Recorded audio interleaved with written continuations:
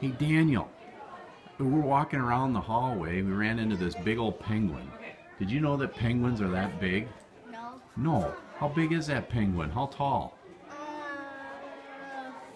four feet. Four feet. How tall are you, you think? Uh, Pretty close to four feet. Stand in front of that penguin. Wow, you look like an emperor penguin. What's that little one down there?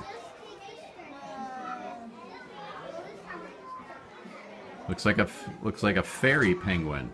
Never even knew there were two types of penguins. Did you? no. Excellent. Well done.